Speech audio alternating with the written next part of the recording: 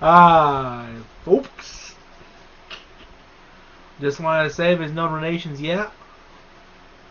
But I'll give a, uh I'll give you a few more minutes to get those goddamn donations before the show's cancelled.